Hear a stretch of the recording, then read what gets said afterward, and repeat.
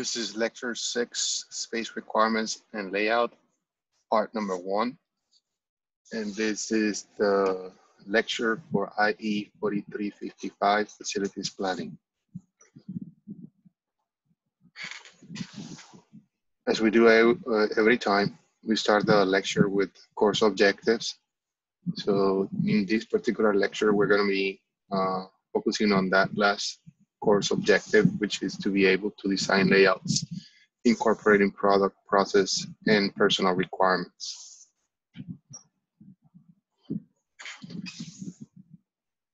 So as mentioned in the first slide, uh, this lecture is divided in two parts. So in the first part, we're gonna look at the introduction to this topic, and then we're gonna talk about structural system performance, enclosure systems, and atmospheric systems.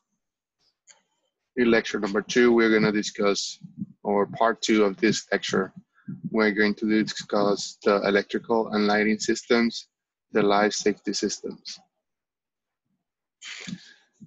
The learning objectives for this lecture is to provide an overview of how the systems elements impact the overall process of facilities planning. We also want to provide an understanding of the various systems elements within the facility, not to prepare the facilities plan to design a structure or its heating, ventilation, and air conditioner or other systems. But we, we, we need to have an understanding of how those decisions are made in terms of the, um, the capabilities of those systems for a facility. So, so let's start with the introduction. Um, so as we have discussed during the first part of this semester, the, the most difficult determination in facilities planning is the amount of space required in the facility. There's some uncertainty generally existing in, concerning the impact of technology, uh, a changing product mix, uh, changing demand levels, and organizational designs for the future. So these four areas create some uncertainty in terms of what will be needed and how would that impact our design for, for the facility. The facilities planner then has the difficult task of projecting through space requirement for the uncertain future.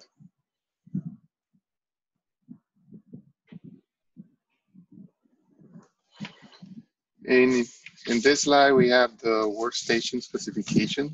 This is a slide coming from one of the previous lecture.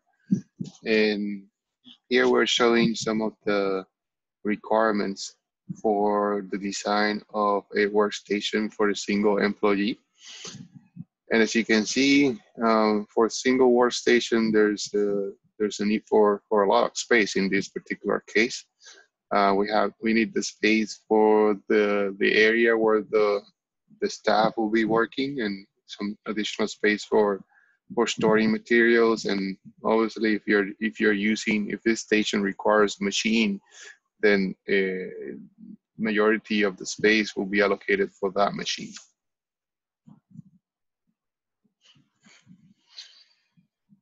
So the department specification builds on, on top of the individual workstation space. So as after you have defined the, the requirements for each individual workstation for a particular area, then we have to define the, the space for each department. So once the space requirements for individual workstations have been determined, the space requirements for each department can be established.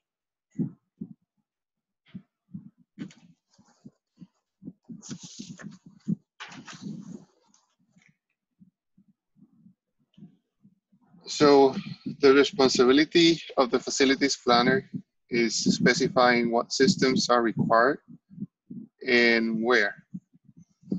We're integrating those systems into the facility. So the facilities planner must be aware that the cost of constructing, operating, and maintaining the facility is significantly impacted by the facility systems. A critical factor affecting facilities flexibility is the facility systems. A facilities plan is not complete until all systems are specified. Facility systems have an important impact on employee performance, morale, and safety. And facility systems have an important impact on the fire protection, maintenance, and security of a facility. So what are the facility systems considered in this lecture? Those are listed next. So those uh, facility systems are the structural systems, the atmospheric systems, the enclosure systems, the lighting and electrical systems, and also the life safety systems.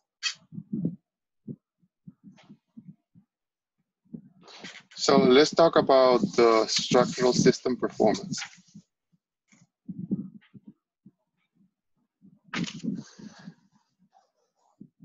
So again, as we stated at the beginning of this lecture, uh, the plan is not for you to become an, a civil engineer and on, know how to build a, a building, but uh, the idea is for you to understand how those systems are defined so you can understand how those impact the design of the facility and the layout of the facility. So the most common structural types of, for industrial facilities are the steel skeleton frame or reinforced concrete skeleton frame. And this is in terms of column spacing. Column configuration will impact the layout and the layout will affect the structural design. So again, um, when you maybe when you start designing a, a facility layout, the building's still not there. So as you design the, the interior of the facility, the building might be under construction. So it is important for you to understand where those columns are located because those can have an impact on when you're placing a, a department or where you're placing a machine and so on. So the facilities planner must insist that the structural grid spacing optimize the function of the facility. So for example, in a warehouse, the column spacing should be dictated by the rack dimensions and the access aisles between the racks.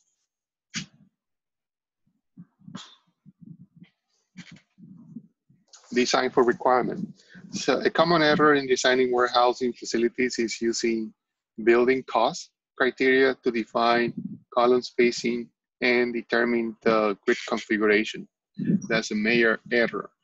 Uh, so those decisions should not be uh, driven by cost. Uh, in terms of the types of columns, heavy wall, uh, round or square, tubular columns should be used in warehouses.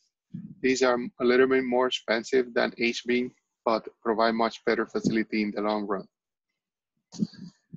Also, eliminate rotting and vermin nesting places, ensure heavy maintenance and cleanliness, provide the ability to place uh, downspouts within the columns, and minimize the effects of denting column strength, and also eliminate the corners that can pull packages from pallets when the forklift truck operator move too close to the column.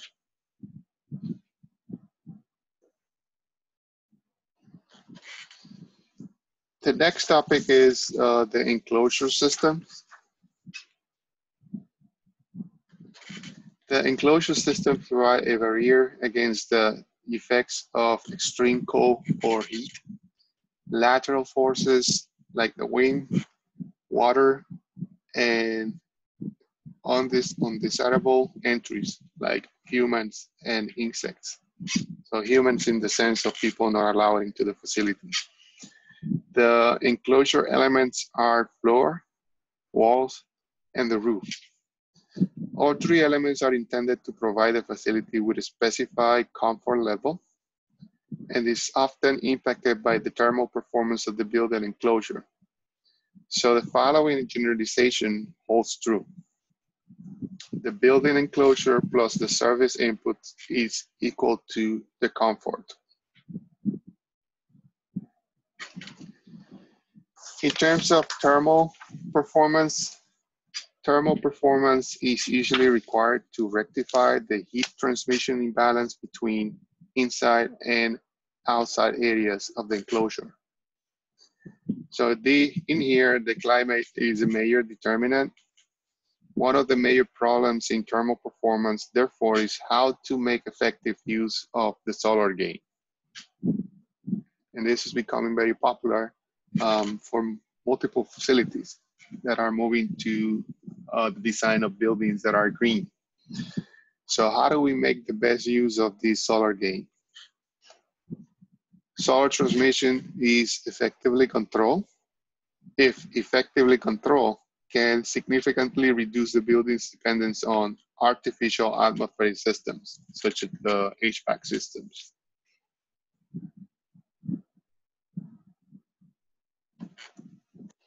So here we have some examples on, on the impact of the, um, the solar irradiance on the facility. So we have here um, a single glaze clear. Uh, so we are talking about different type of, of material. So, um, so for the one at the top, we have the single glaze clear, 90% uh, of the incident solar rays are transmitted due to the poor absorption and reflection qualities of the single glaze element. A double pane configuration with a heat absorbing element reduces the amount of transmission from 90% to 45% and solar gain can be reduced additionally from 90 to 25% if a reflective glass member is substituted for a heat absorbing member in the double pane configuration. So this is uh, the difference. Now, if you use, use a single glaze clear material, you see that 90% um, of it is transmitted, only 10% will be reflected if you use a single glaze clear, um, so you are getting 45% into the, the inside of the facility, and here you have 25% uh, of solar gain.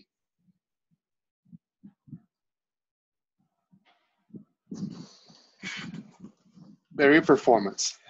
The material selected, metal, plastic, or masonry cladding should be more impervious to penetration.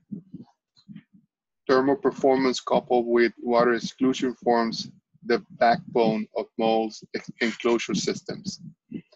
There are two areas of consideration, above the ground and below the ground. Above the ground, facilities planners must be aware of problems that a poorly designed roof can cause the primary performance needs of the roof is water exclusion, um, vapor migration, good insulation, and water barrier on unremovable are essential to an effective roofing system.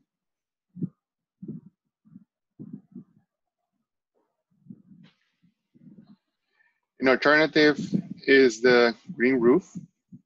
Some of the advantages are reducing heating and cooling requirements, protection of roof components from UV rays, dealing with wind and temperature fluctuations, and reducing the site's impervious surface, thus allowing for more parking in large buildings for the same site.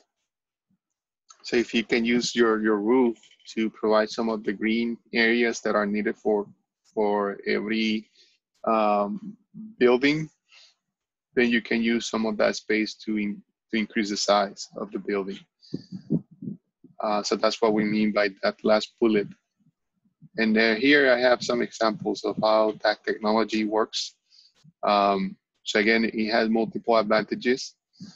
So you can have a, almost like a, a, a park if you have a large building on top in your roof.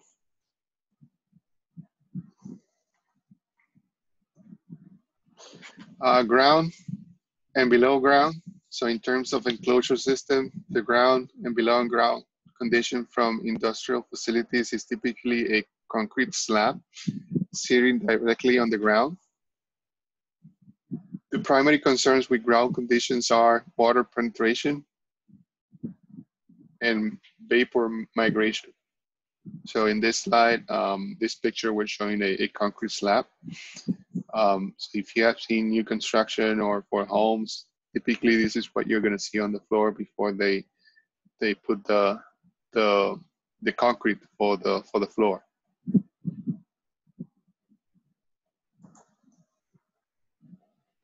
Floor performance in most manufacturing and warehouses facilities, the floor is second only to the roofing performance requirements.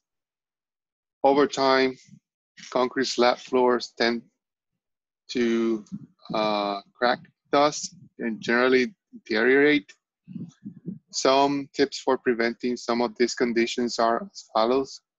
Uh, steel fiber mixed into the concrete will not prevent cracks but will reduce the width of cracks once they occur. And synthetic fibers mix into the concrete to reduce segregation of the concrete mixtures as it dries, and therefore helps to reduce the formation of shrink shrinkage cracks.